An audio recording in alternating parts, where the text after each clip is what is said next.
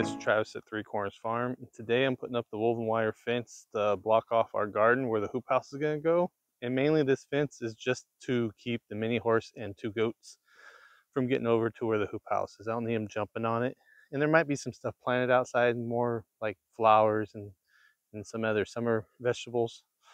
But uh, I'm using this out stuff that we have around from the last couple years. And you can see this fence is too tall for my uh, post because when I bought this, is the only fence they had a year ago. So what I'm gonna end up gonna do is from here, I'm gonna probably cut this line and fold it over.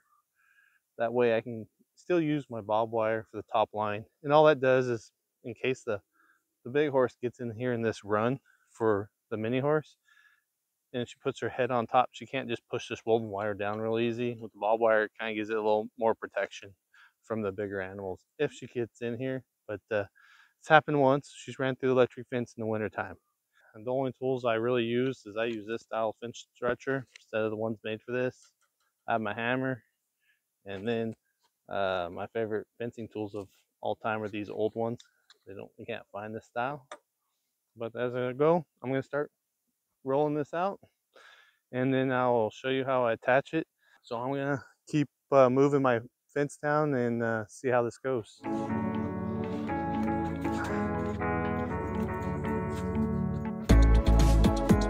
Then uh, there's one more thing I do here to help stop the fence from falling on me.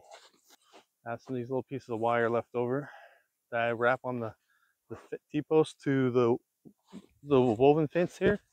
And it'll just help stop it from falling over as I unroll it. And it's easier when the fence is the right height.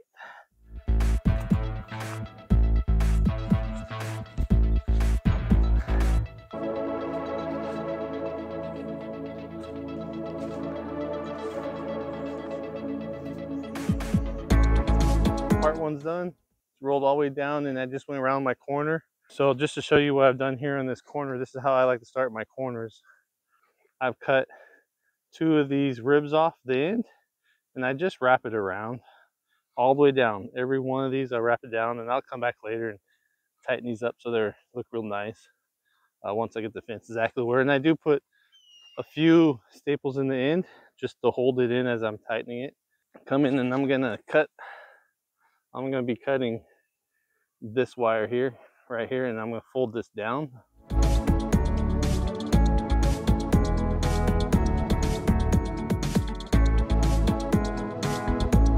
So I got that bent over. Later I said I'll tighten this up and once I start finishing up this end and getting it stapled, and I'm going to start tightening up the fence and start pulling it and getting it adjusted to get some of the slack out. And I do have two good little mounds that's going to cause the fence to kick out of the bottom, which is fine for this, for what I'm using this for. If I was using this for cattle, I would actually have to dig a trench so the fencing could go into the ground.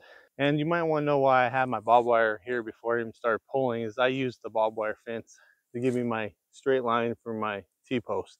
I usually run it and that's how I get my T-post line. And then I usually end up using it. All right, here we go. Hopefully I have an angle that you guys can see. So basically I'm going to take some of this first slack out. Everything's a little icy. There we go. So I have pulled about, I don't know, six, seven inches out of slack. Now I'm to walk up the line and adjust it a little. And all I'm doing is just trying to get the fence kind of close to where I want it. Now we're getting some tension. I'm gonna try to get a little bit more around this corner, but uh, not too much. Because I got quite a bit of tension just in this section. Maybe I won't. That's it. I can even see I'm starting to move these posts a little. These are an inch and a half staples.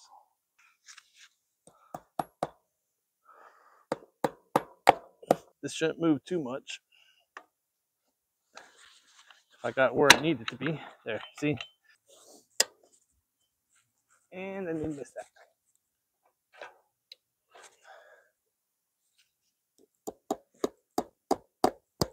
I went ahead and shut off and just finished building all the fencing through here.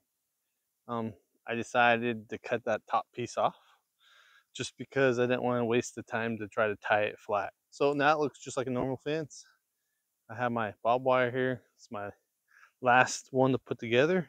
And this is my last post to put my C-clips on. And then uh, we'll be done. I got both ends all tied up. As you see the barbed wire stretched. And what I ended up doing, since I didn't have a big enough nail, uh, I got one of my Allen wrenches that I don't really use. It's just some miscellaneous one I have. And all you do is you hook the clip, run it around.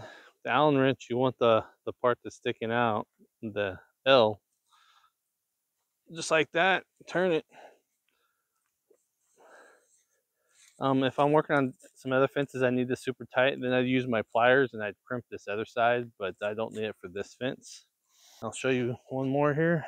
Get the fence slid up. Slide my wrench in there.